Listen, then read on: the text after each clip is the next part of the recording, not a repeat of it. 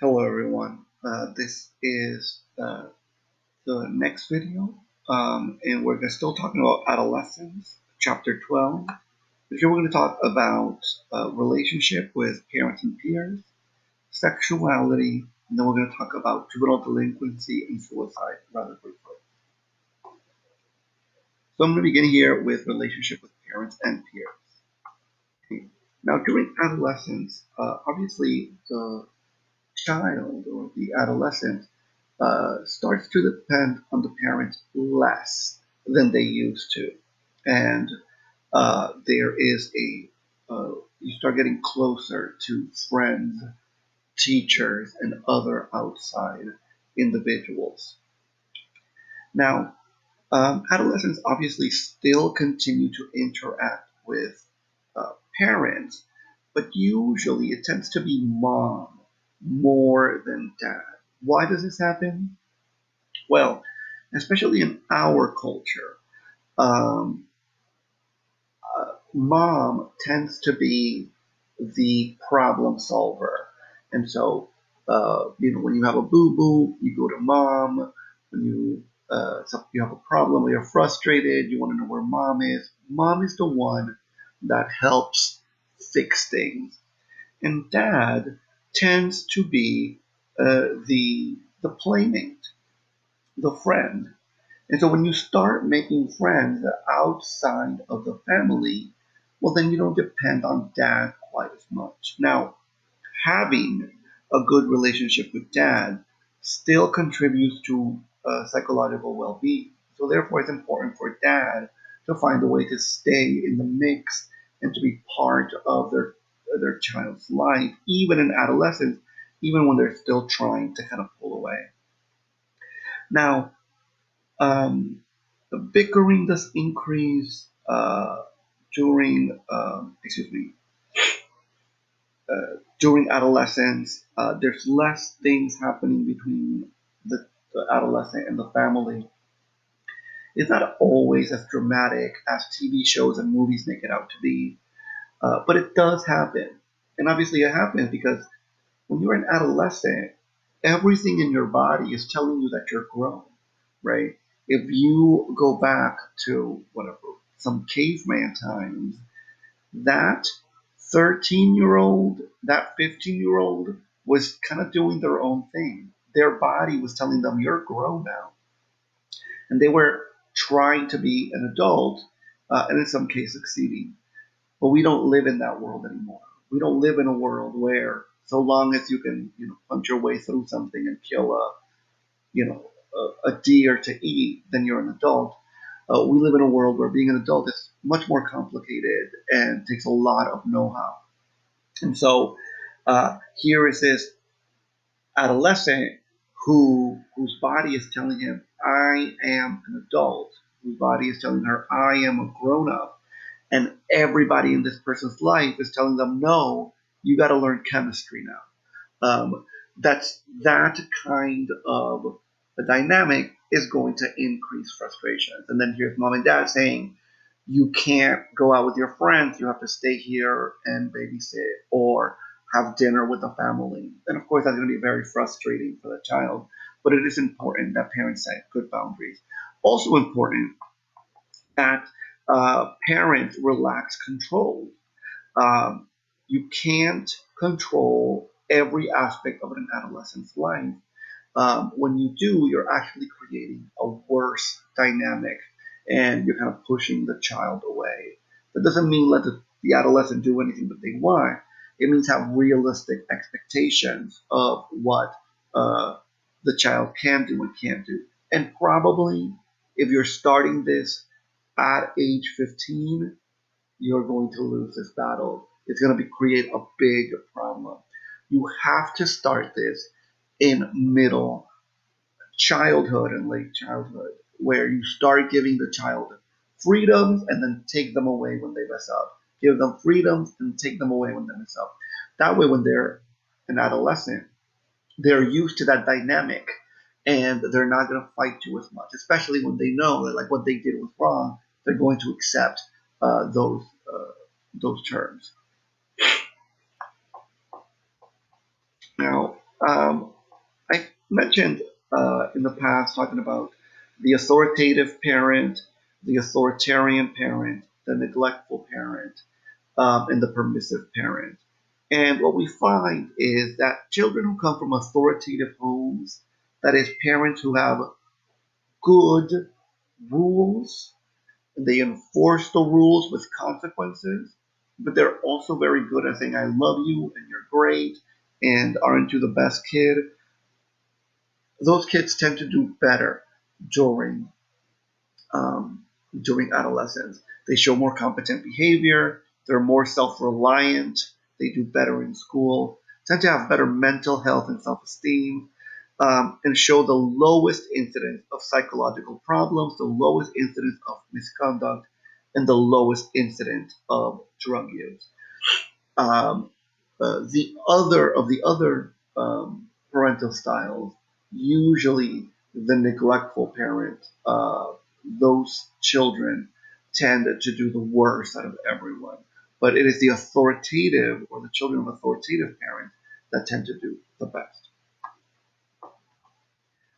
Now, as I mentioned, during adolescence, you do have more friends than young children. Usually, young children have like one or two friends, or maybe they go to pre pre K, they'll have a couple of friends. But those friendships aren't very strong. And as you get older, you might have one or two best friends. But by the time you're entering adolescence, the groups get bigger, and so you might have developed uh, a few friends uh, that are pretty good, and maybe one or two best friends that uh, you kind of do everything with. For adolescents, there is a great deal of um, time spent uh, where what is important in the relationship is, excuse me, acceptance um, and the ability to self disclose. That is, I want to tell my best friend everything about myself, and I expect that because you're my best friend, you're going to accept me because of it. And obviously, you're not going to tell anyone else what I've told you.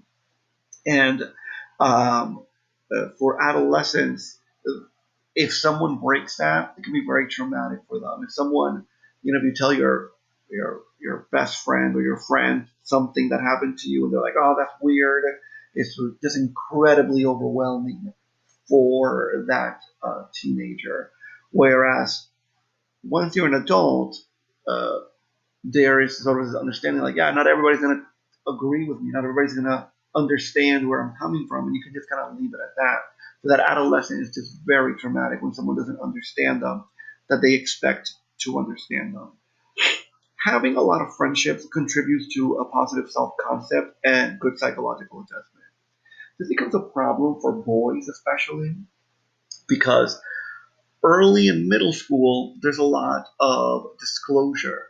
But what starts to happen is that then all of those masculine uh, traits start to kick in and you've internalized a bunch of things. And now it's not okay to cry in front of your friends because, you know, they're going to make fun of you or they're going to think you're weird. It's not okay to disclose too much, to tell people how you feel, right? Maybe you're really in love with that girl, but you don't want to say that because your friends are going to think that you're weird or that you're going to, uh, they're going to make fun of you. And so what tends to happen is that boys are desperate for that acceptance and intimacy and self-disclosure, but they really don't have a lot of people to disclose to. And so hopefully maybe they have like one or two best friends that they can do that with. But of course, a lot of boys don't even have that. Um, now, another thing that you're going to find is, uh, especially in middle school and in high school, definitely, that there are cliques that start to develop. So a clique is a small group of friends that hang out together, and uh, it becomes incredibly tight knit. And there's a great feeling of like other people aren't allowed in the clique, and you know this is us, we're the group, and that's all that we are.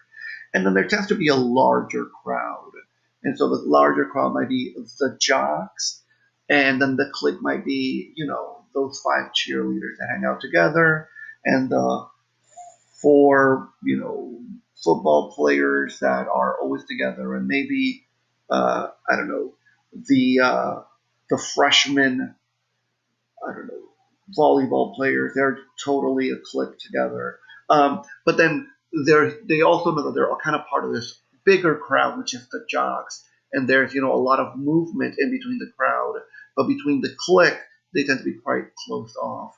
Um, usually, crowds are identified by specific activity, the jocks, or the I don't know the computer crowd, the techie crowd, or the Dungeons and Dragons kids.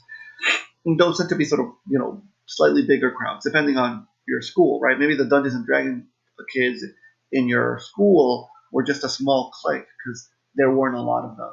But you know, in different schools, there might be a, a sort of bigger crowd. Some crowds fall very neatly into adult society. That doesn't mean that they're they're always adult-like, but they tend to do better. Um, they're going to do less drugs often. They're often going to have more adult-like goals and more adult-like behaviors um, and expectation. Because of course, an important part of the crowd and the clique and just friendships in general is that because we're friends, I have expectations about how you will behave, and you follow them for the most part. You tend to want to fit in with your with your group of friends, and so if your group of friends tends to be a crowd or a clique that is very adult-like, the jocks and the cheerleaders, the FBLA kids, or the um, you know future farmers of America kids. Um, those are more adult-like groups and uh, cliques and crowds. Um, then those kids tend to follow very sort of adult-like behaviors. Not always; they're still kids. All kids get in trouble. All kids do weird things. And, you know, maybe there's a little clique or a little crowd that um, sort of you know, uses more drugs, and then that sort of spreads. Those things happen, but on average, it, they tend to be more adult-like.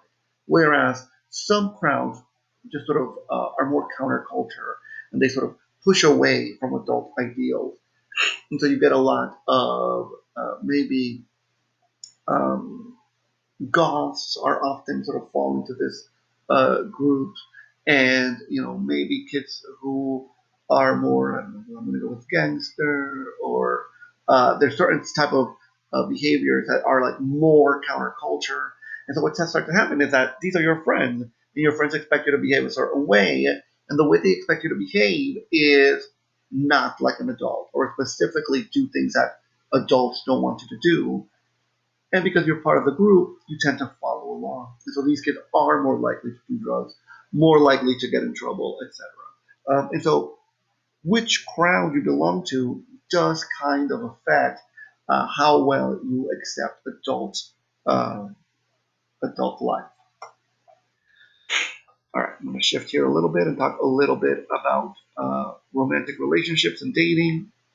Now, um, dating often uh, starts out in uh, early and middle adolescence, so in middle school and uh, in uh, excuse me, early high school. That tends to be where a lot of people you start seeing a lot of people are finding a boyfriend or a girlfriend. They're talking a lot more about their first kiss uh, and things like that. Um, uh, adolescents start dating or going out uh, usually by the time that they uh, graduate high school. They've probably at least dated a couple of times, and a lot of people have had their first boyfriend or girlfriend by that point. Um, now, relationships are obviously more stable in late adolescence. In that middle school uh, dating, and sometimes you're like, yeah, we're dating because I asked Susie, do you want to be my girlfriend?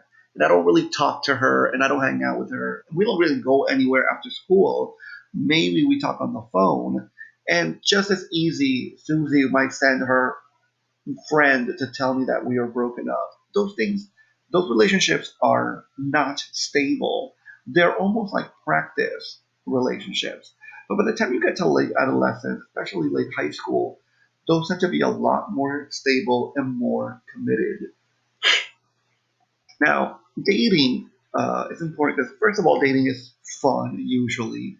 Uh, now, some people kind of go out of their way to make dating not fun, but that's usually the purpose of dating is that you're going out places and you're having a good time. Uh, dating also enhances prestige, especially in school. Um, and the longer you've been together, the more kind of prestige that relationship tends to have. But there's a lot of dynamics to that. If you're in middle school and you're one of the first set of kids to be in a relationship, that brings prestige. If you're in high school and you've been together with your boyfriend or girlfriend for whatever, three years, four years, people tend to think that that's important. Or maybe you're dating someone who's really popular, and people also find that to have a certain prestige to that. Um, obviously, it gives the experience uh, in learning to relate to people, to relate to future relationships if those relationships don't work out. Um, it just sort of prepares for adult courtship. I kind of already mentioned that uh, the relationship or the uh, uh, influence of your parents sort of gets a little bit weaker as you enter um, adolescence. It tends to be still kind of strong in the beginning, sixth grade, seventh grade, but that starts to weaken. And so you start to care more about your friends in the middle of that, especially eighth, ninth, tenth, eleventh grade. But hopefully by the 11th grade, you've started to rebalance that.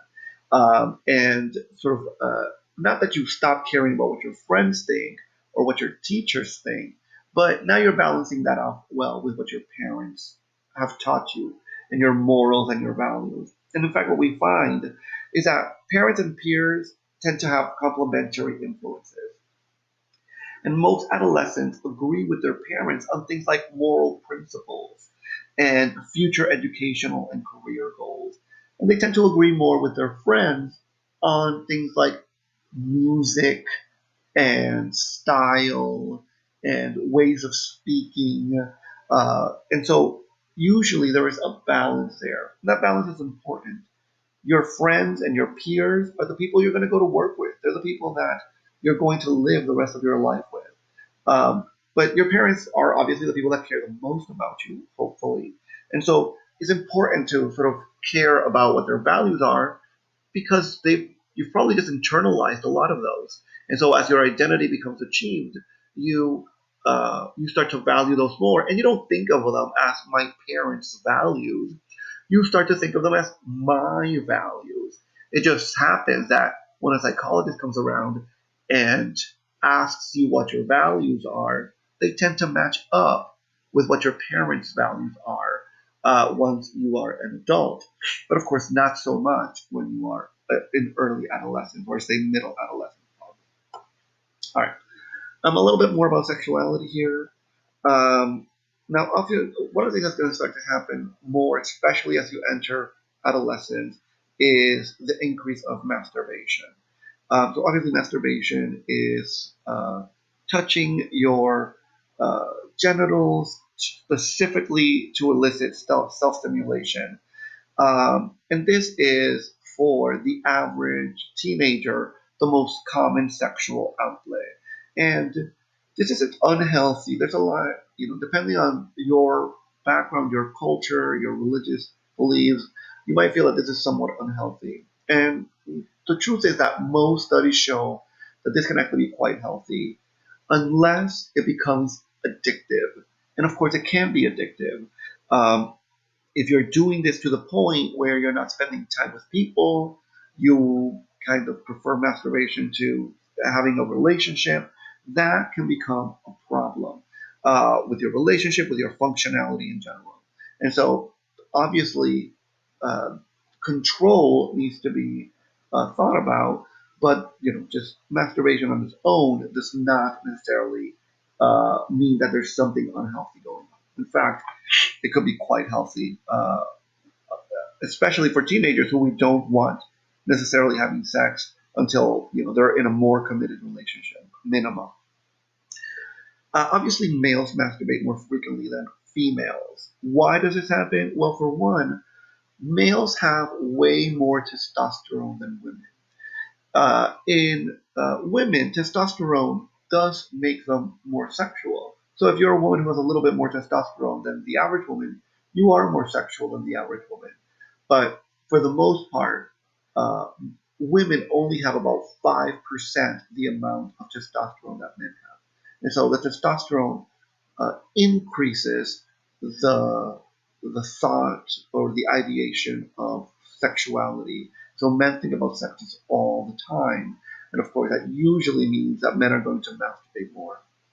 Um, although masturbation tends to be taboo, it's not quite as taboo for men as it is for women. Most people talk about uh, men masturbating at some point.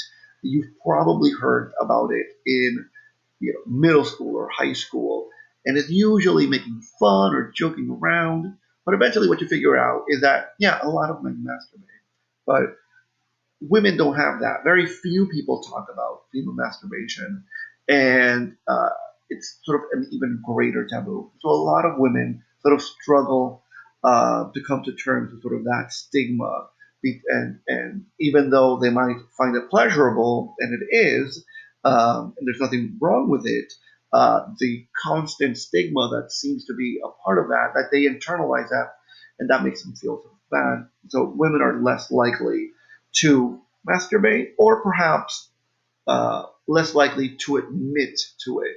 Uh, because, of course, how we get this data is that we ask people. And so if you're not very comfortable with that about yourself, you might just lie. And so at the very minimum, women don't admit to it as much as men do. Uh, obviously, um, teens are dating, and uh, the earlier you start dating, the more likely you are to engage in sexual activity during adolescence. And especially when there's no one talking to you about uh, sex and protection, having sex early on means that you're probably not using contraceptives, condoms, or other forms of uh, contraceptives, stopping yourself from getting pregnant. Um, now, uh, there's obviously part of dating is a sexual aspect, and so kissing starts usually comes first, and then there's a lot of petting, which includes kissing and touching. Um, uh, obviously, the probability of having sex rises dramatically as you get older, and it also rises um, when you don't have people telling you their values. Some parents are very good at expressing their values and saying, you know, you should be waiting to have sex to have sex until you get married. Uh, you should be waiting until you find the right person. You don't want to get pregnant. Um, uh, you should learn to say no, to uh, call me, etc. And when parents express that very well to their children, their children sort of internalize that as their own values. And so when the situation comes up, those kids are much more likely to put a stop to it. Whereas when parents don't express their values, well, then those kids kind of don't know where their parents stand. Therefore, they don't really know where they stand. And when it comes up, they just kind of go along with what's happening. That's not to say that, you know, you can tell your kid something a million times, and sometimes the situation, the pressure, uh, the social pressure is just too strong, and they kind of uh, give in to it. That all happens to everyone. But when kids don't know what their values are, it happens even more, uh, and it's much more likely to go on. All right, as I mentioned, um, there are hormonal, change, hormonal changes happening in puberty. Boys tend to have more testosterone than women, and so men are much more likely to sort of be affected by uh, violence, ideation, and sexual ideation, and so uh, boys are much more likely to try or want to engage in uh, sex, and of course, boys tend to be more likely than women to be violent. Um, I would like to point out that most boys, most men control that well, but it is more increased in boys than girls. Uh, girls have about 5% the testosterone of boys, and so um, their uh, sexual desire um, and their desire for sort of violence or to act aggressively is sort of lowered. Of course, some girls do have more testosterone than other girls, and so they're going to be more sexual, um, and that tends uh, to happen more uh, in women, older women, um, the testosterone level is going to go up. So it is usually middle-aged women who have sort of that healthier sexual appetite, whereas young girls don't have that quite as much. I always like to point out that uh, one of the things that we know about transgender men, that is, people who were born male or assigned, excuse me, born uh, female or assigned female at birth, but in adolescence are transitioning into men. Well, one of the things that starts to happen is they have to take uh, testosterone as a supplement. That is, they go to the doctor, the doctor gives them testosterone to take. And one of the things that transgender boys will say is, wow, I can't stop thinking about sex. It's like I, it's all I think about uh, after I take those testosterone uh, shots. Sometimes the opposite happens. Sometimes men who are just normal, uh, healthy men, they're cisgendered males, but something happens where their testosterone or their ability to, to pro- produce testosterone gets damaged. And one of the things that happens is that their sexual desire drops. They don't have quite as much sexual desire. So uh, hormones are incredibly important to the aspect of sexuality. But of course, it's not just uh, hormones. A lot of social factors play a role here, um, depending on who your family is, what their expectations of you are, uh, what their expectations of your self control are. Um, all of those things play a role. But it would be silly for us to pretend that hormones are not a real thing that are affecting you um, and affecting your sexual behavior. I kind of already mentioned this, but obviously, uh, parents who are close with their children um, and who express their values to their children tend to have uh, adolescents who initiate sexual uh, activity later in life. Um, and uh, usually, when parents are not very close to their children, or when parents don't express their value to the children, they are more likely to engage in sex earlier in their teenage life.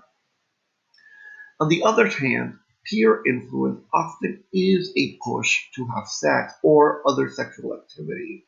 Um, oftentimes, your friends are talking about the, the fact that they've had sex or they're lying to you about it. Many teenagers will tell you that they have, in fact, had sex when in fact they haven't. But you don't know that, uh, especially when you're a teenager too. And uh, that pressure of being like, I'm the last one, I'm the only one who hasn't done this yet. Sometimes that feeling uh, pushes people to have sex before they're ready. Um, and of course, uh, your friends and your media and the media, TV, movies, the internet, often are a source for sex education and they're not always a good source. Yeah, sometimes you go to the internet and find great websites that express things that are accurate and scientific or socially responsible. But there's a lot of stuff on the internet and TV and movies that are just lies that are put in there as a joke or that are put in there about a specific group of friends or a specific type of people that they're uh, you know, sort of showing that movie or in that TV show. But teenagers will internalize that as, oh, this is what everybody's doing. And so again, it's really important to have good sex education, either coming from the parents uh, or coming from the schools. Um, this uh, leads straight into something that is kind of a brand new thing, which is sexting. Um, it's not something that is invented, right? People have always been sending, you know, pictures of themselves to each other, but this is just like, you know, usually you have to kind of be crazy about it to take a Polaroid or a picture and have it printed and then send it to someone. Uh, uh, and so you were, it wasn't quite as risque in the past. Uh, phone sex was something that people used to do. Uh, but again, now sexting allows you know, for that visual aspect Uh, by the way, sexting is when you send text messages, usually with sexual contact pictures, uh, and things like that. People use this in relationships because it's uh, sexually arousing. Um, sometimes it, it uh, increases intimacy, uh, but it can very easily be used to humiliate others. Um, and of course, we see that especially among teenagers, but we see it also with TV stars or people who have professional lives. They're like, oh, you know, you don't want this picture to get out. That is just a thing that happens. And so it would really be best if you didn't involve yourself in that. But it is uh, it is something that happens so often nowadays that is it's just kind of important to talk about it and express the things that can go wrong. Um, now, usually most people are using uh, texting to arrange sexual encounters. In other words, it's someone you don't really know that you've met online, and sexting is part of the kind of courtship dance. Um, but of course, you don't know this person. And also, even if you do know them, some people, while you're in a relationship with them, act a certain way. And when you're not in a relationship with them, act in a completely different way. And often, when you break up with someone, there's a lot of hard feelings. And if this person has a folder full of pictures that are risque uh, of you, then you just kind of put you're putting yourself out there uh, and making it more likely that uh, those pictures will leak. Also, I'd like to point out that you know I'm, I'm, kind of, I'm kind of saying you're putting yourself out there. It's always the fault of the person putting the pictures out there. That person is doing the thing that's wrong. But it is also important to remember that not everybody has your best interest at heart. And so sometimes it's just better to not take the chance. Uh, so it's good to sort of remember don't believe uh, that anything you've sexted is private. Uh, nothing that you put on the internet or that you have sent electronically ever goes away. Sometimes, even if the other person deletes it, uh, there is a way to capture it. Um, even if the app says it automatically deletes something, there is a way to capture it. So it is good to just sort of resist that desire to, text, uh, to sex. Um, another thing that happens is that not everybody wants to see you naked. Uh, and so you should probably ask before you send a picture that the other person doesn't want to see. Just because you find this person sexually attractive doesn't mean that they find you sexually attractive. And even if they do find you sexually attractive, that doesn't always mean that they want you to send them pictures. Um, you should always ask or wait until someone asks you to send the picture uh, because you're really kind of putting yourself out there and you may just be sexually harassing someone without meaning to. Uh, let's talk a little bit about pregnancy. Um, in the United States, we don't do well with teenage pregnancy, and one of the reasons we don't do well at stopping teenage pregnancy is that we don't talk enough about sex education. And when we do talk about sex education, we often talk about abstinence uh, only. And we say, you know, don't have sex, don't have sex, sex is bad somehow, blah, blah, blah. But that these kids are still teenagers. They still have the great desire to have sex. It is a biological drive that is pushing children or adolescents to have sex. It's kind of like telling someone you shouldn't eat, don't eat. Well, there's a biological drive that's pushing you to eat. The same way that there's a biological drive pushing uh, uh, teenagers to have sex. so it's good to express your values to teenagers and tell them to wait. But when you don't give them other options, what happens is they're in a situation and they give in to their sexual desire. And now they don't know about using uh, condoms, about other forms of uh, stopping pregnancies. And so it increases the chances of them having sex because of uh, them having a, a, a, sexual encounter that leads to pregnancy. And Americans just have more kids than other uh, advanced societies, Europe, uh, Australia, things like that. The uh, be the pregnancy, the teenage pregnancy rate is much lower. Um, usually, it's because teenagers are not calculating their uh, their chances of getting pregnant well. Uh, and sometimes adult, it's the adult's fault. Sometimes adults will say uh, condoms um, uh, can't be trusted. And so teenagers go, well, if condoms can't be trusted, then what's the point of using them? If they're not effective, what's the point of using it? And so they don't use it. And of course, condoms are effective, uh, way more effective than uh, the rhythm me- method. The rhythm method is when a woman tries to know when she's on a period and have sex when you know when she's not on her period. That is not very effective. Pulling out is not effective. Condoms are definitely way more effective than that. Um, now, with all that being said, it is important to point out that uh, teenage pregnancies have been going down all throughout the generations. And so when you see this graph, this graph starts in the 1990s and it goes all the way down to 2017. And what you're seeing is that there is a constant uh, shift downward uh, in the United States. It's just that compared to other countries, we're still not doing well. I said with to other uh, advanced countries or Western uh, countries, we're not doing as well. Um, but we still are doing way better than we were doing in the past. Now, obviously, when a girl uh, gets pregnant too early, uh, this can have complications uh, during pregnancy and labor for a lot of reasons. Maybe the girl isn't done with puberty and her body really isn't ready to have a baby.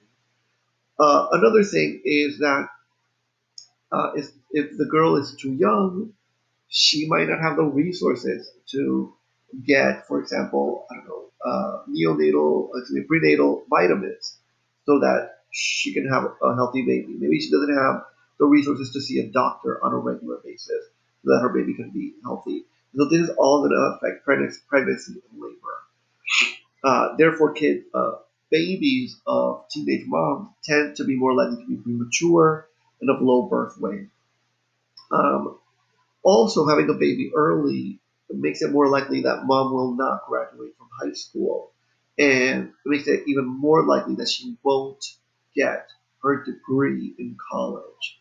Um, and of course, if you're not in high school, if you don't finish your high school diploma, or if you don't go to college, and on top of that, you have a child, there is a really high chance that you're going to be lower income. And all of that is going to affect your baby's life and your life. Uh, so therefore, it's important to talk to children about, uh, or actually adolescents, about sexuality, have good sex education, uh, talk to teenagers as though they're going to have sex, not tell them to have sex. You always want to express whatever values you think are important about waiting until they're in a committed relationship, until they're married, because of course you don't want kids to just be having sex uh, with everybody they meet, or to start using sex as a coping mechanism and just sort of uh, uh, be having way too much sex and putting themselves at risk. Uh, but you know, you want to be realistic and sort of in the modern time, a lot of people wait to get married until they're in their mid 20s, mid 30s sometimes. And so uh, sometimes people are going to be in a committed relationship way before they get married. Say, well, we want you to be wait until you're in a committed relationship. Um, and of course, we want to provide for family planning as well. Let me talk briefly about sexual orientation. Uh, so most people are uh, heterosexual. Uh, usually, the average person is going to be heterosexual. The society kind of expects you to be heterosexual. So most people just kind of fall into those grooves. But not everybody is heterosexual. Uh, some people are what we would sometimes call homosexual or gay men or lesbians. Uh, those tend to be the, the phrases mostly accepted uh, by those uh, groups themselves. And so if you're gay, then you are what we would call a homosexual male. That is a usually a cisgendered male who finds other males sexually attractive. You're a lesbian, you're a homosexual female that is usually a cisgender female who finds other women or other female attractive. And in any given group, 2 to 10% of that group tends to be gay or lesbian, tends to be homosexual. Now, some people are what we would call bisexual. And uh, people who are bisexual are really hard to study because they don't always fall neatly into a group.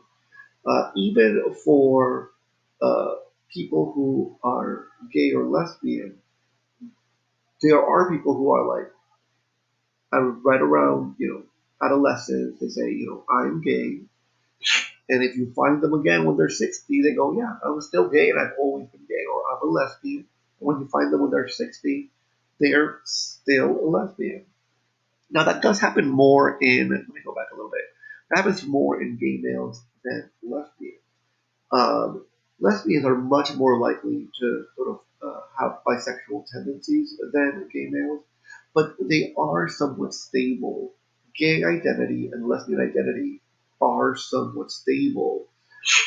Heterosexual identity is the most stable of the sexual orientations, but uh, you're going to find a lot of people who are gay men who have stable identities as gay men, and a lot of lesbians who have stable identities as lesbians.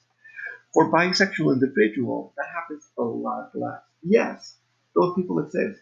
People who sometime in adolescence or even in early adulthood come to the realization that they're bisexual, and then 60 years later they go, I'm bisexual and I've always been bisexual, and it is a stable identity. But with bisexual people, there is a lot more shit. That is, sometimes when a bisexual person is with, uh, let's say it's a bisexual woman, when she is with a man in a relationship, she goes, I'm straight.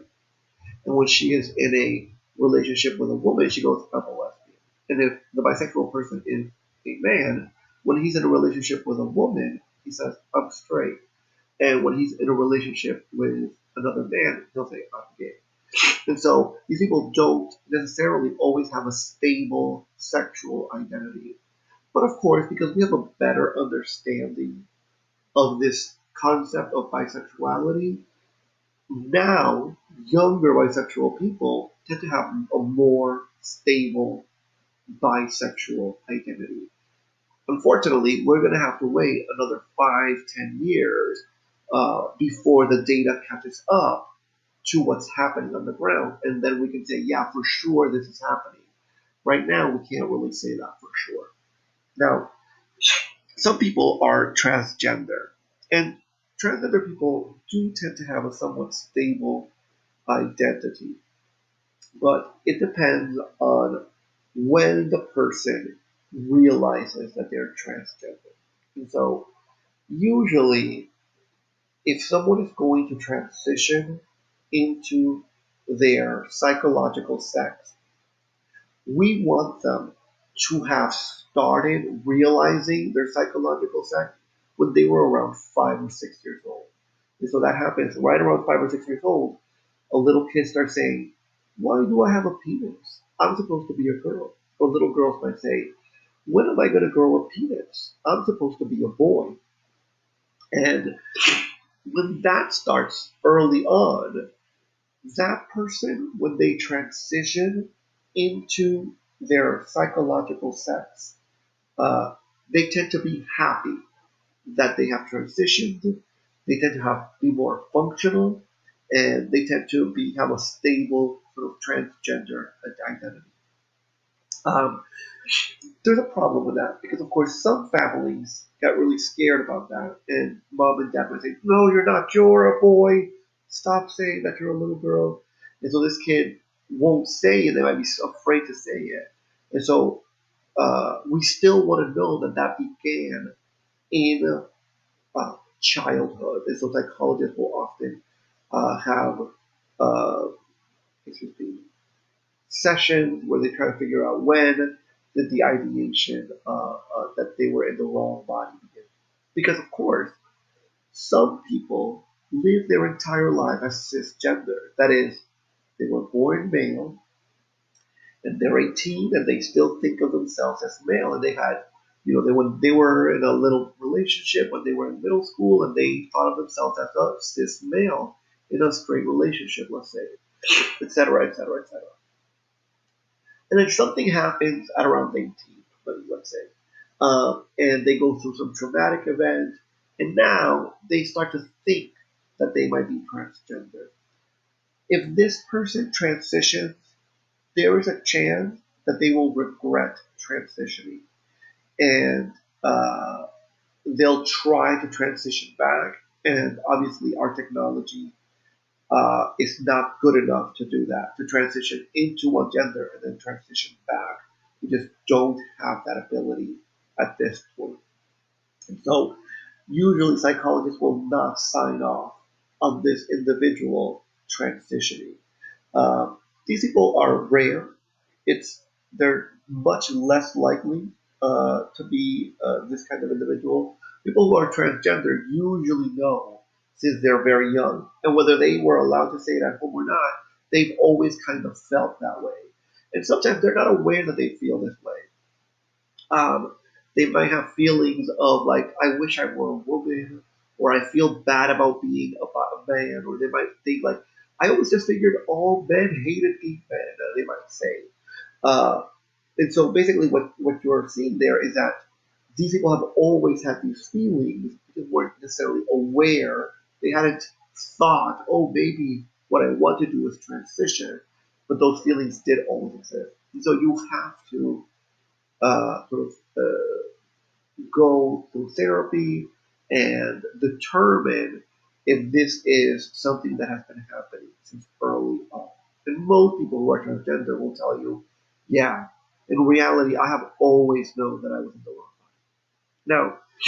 Now, um, sexual identity itself is a label that you use. So you might say that you are straight, or that you are gay or lesbian, or that you're transgender. By the way, someone who's transgender might be gay or lesbian, but uh, uh, we don't often use those terms for this individual. So that if a person is transgender, a transgender woman who only dates women, or a transgender woman who only dates men, or back and forth, um, or with bisexual, uh, we just tend to sort of say that they're transgender, and we don't really ask, uh, kind of in polite society, what their sexual orientation is. Although, you know, if it's a close friend, uh, you might ask that.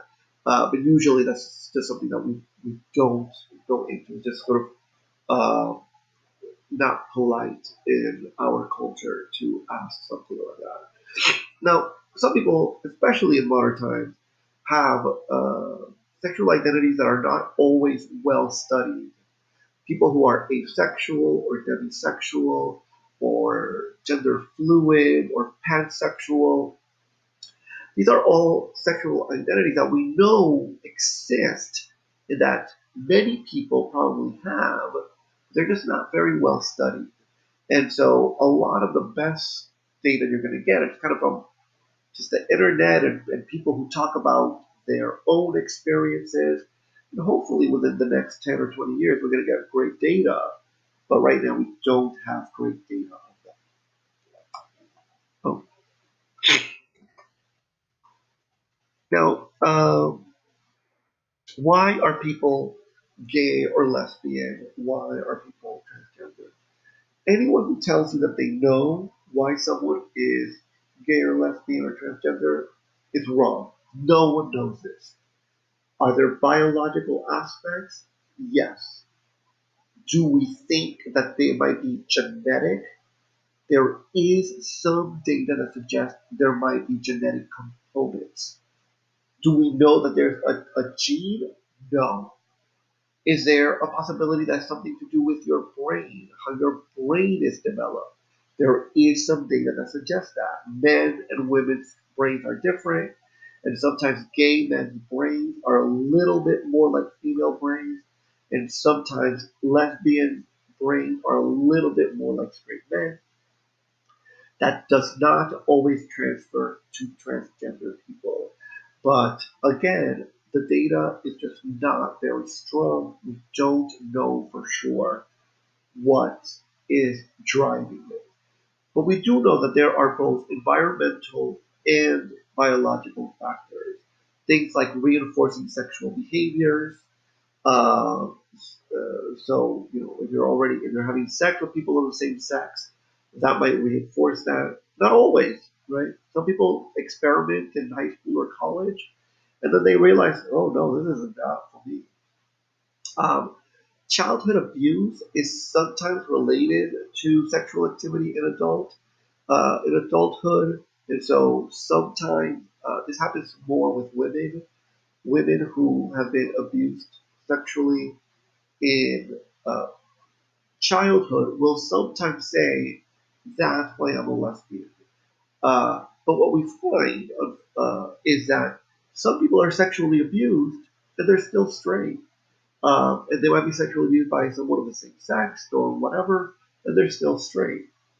And so uh, there isn't really a good uh, a good way to measure if this happens, this person will be gay or lesbian or straight. What we do see is that with identical twins, the chances if one person is gay that the other twin is also gay increases a great deal, but it's not 100%. It's not even close to 100%. Um, and so again, there, even though uh, there, the, it's increased in twins, the chances that they're both, they'll both be straight, they'll both be gay, or they'll both be lesbians, is increased um, uh, com- compared to brothers or sisters uh, or fraternal twins it's still not 100%. And so we know that that cannot be the only factor. Um, and again, we go back to the uh, masculinization or feminization of the body and the brain. So that tends to happen during uh, pregnancy. Uh, during the first two months of pregnancy, the sex organs get uh, differentiated. Boys will develop penis and testes girls will develop vulvas and uh, uteruses and vaginas. And then it happens a second time during pregnancy. And during that second time, instead of differentiating the genitals, the brain seems to be differentiated. And the brain will get masculinized or feminized. And then the question comes up do we see that that is related to being gay or lesbian.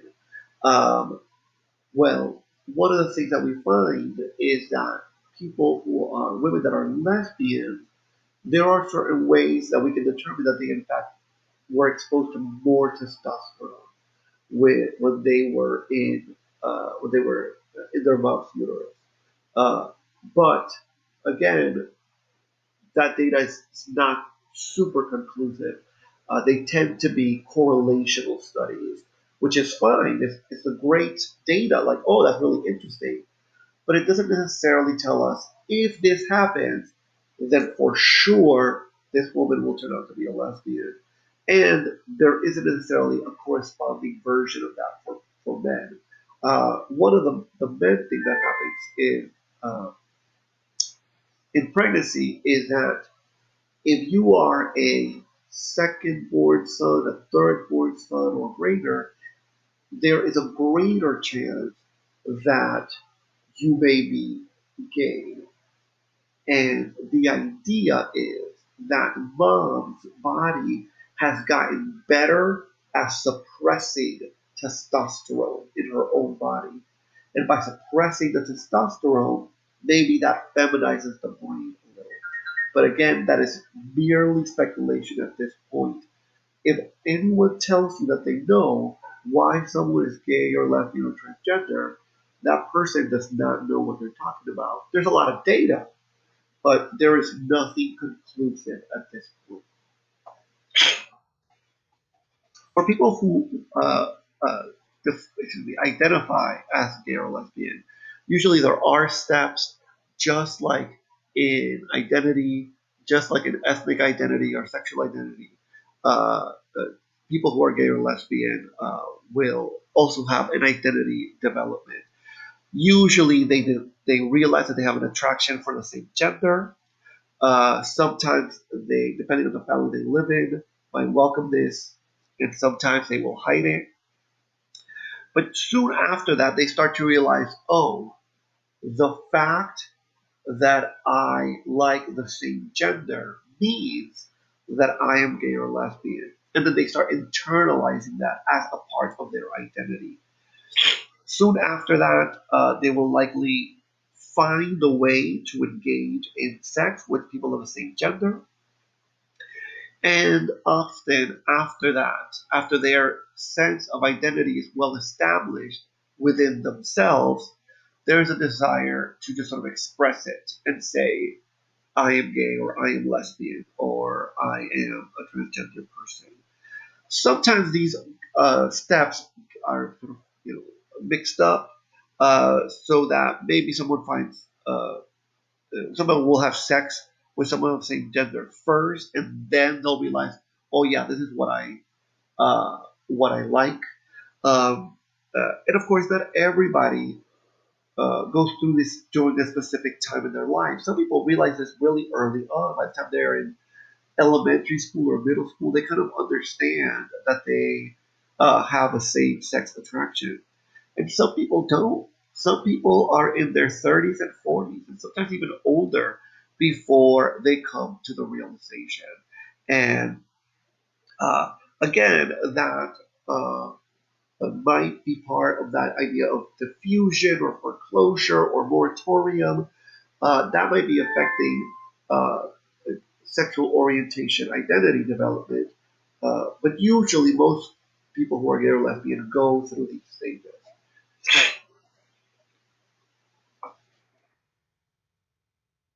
Uh, shift very uh, hard here and talk about juvenile delinquency briefly.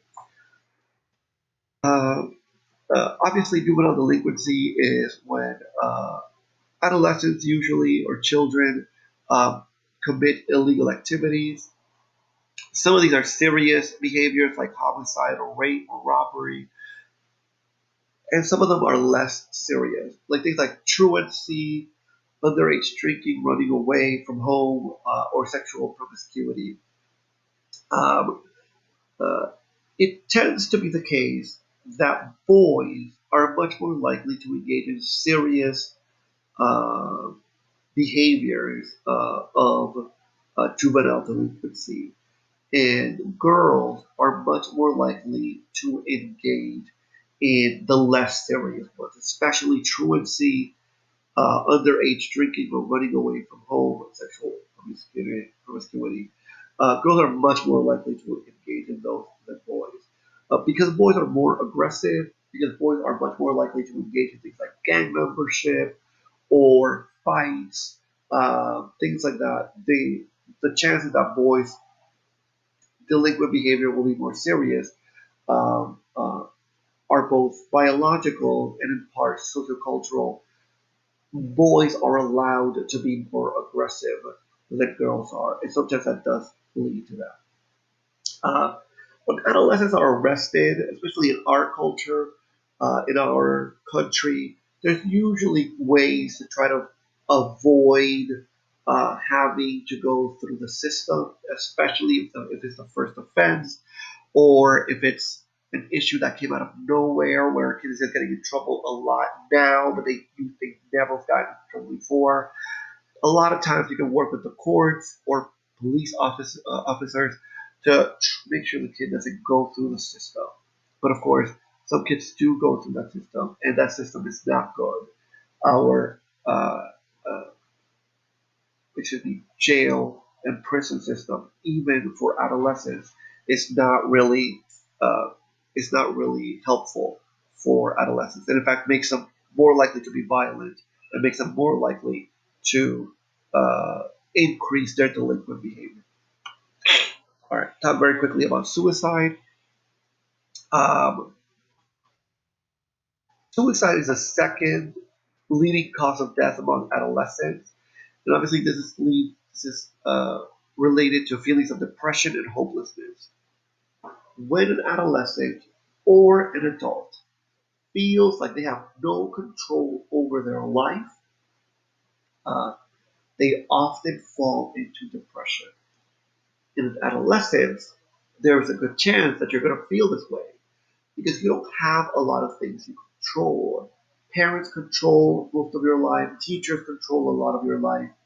And the things that you do control is like friendships, how well you do in class, uh, maybe when you hang out every once in a while.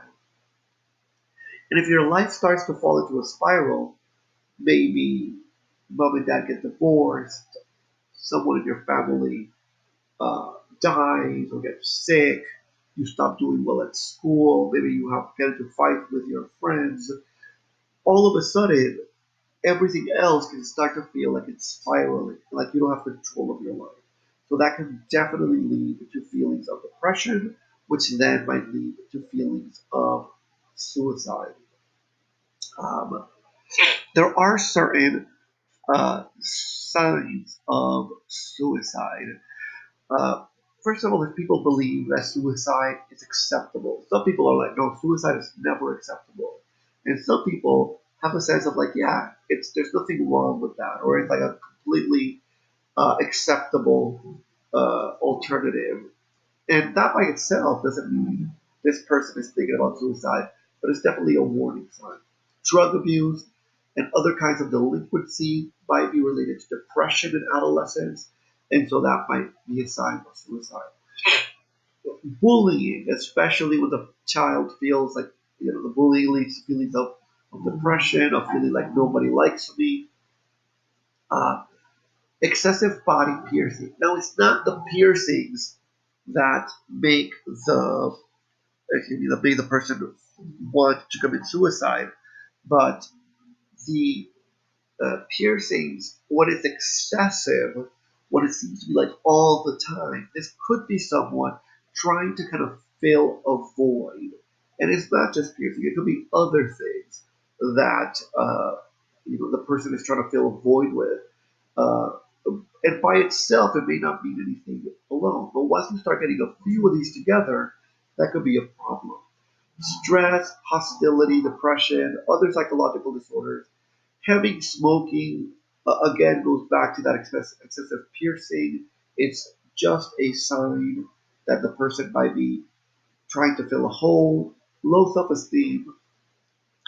One of the classic warning signs is when someone gives away things that they value a lot. Maybe this person values their record collection a great deal. And all of a sudden they're giving it away.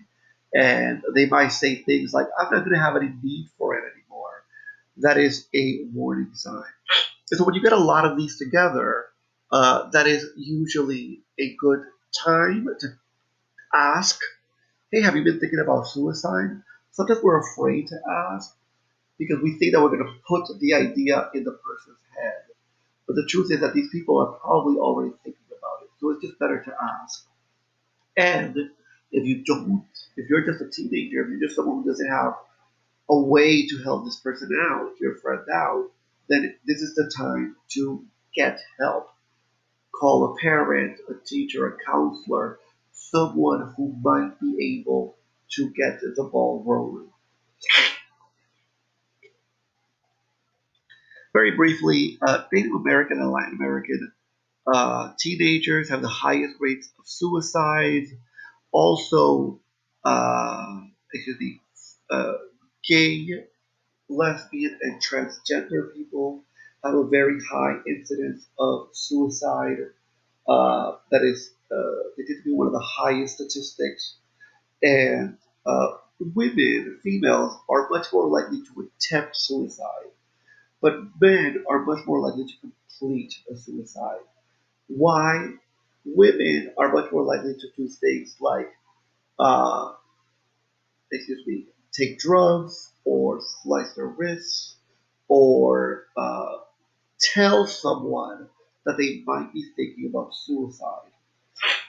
Men are much more likely to not tell anyone and to do things that can't be stopped, right? If someone catches you right after you have uh, taken pills, or if someone catches you right after you uh, cut your wrist, there is a chance that someone might be able to help you out. Not always, but there is a chance. Whereas men are much more likely to not tell anyone and then try to hang themselves or maybe use a gun. And that is it's way harder to help someone after that. And so uh, uh, it, it is more likely that men complete suicide. But whether someone just tells you or you've picked up on warning signs, you definitely want to start telling someone so that you can get help for that individual. Okay. Guys, at this point, uh, this is the end of chapter 12. Uh, there are activities for chapters 11 and 12 on the uh, MindTap, and you should be uh, working on your project. If you have any questions, please email me, and I'll try to get uh, that to you as soon as possible.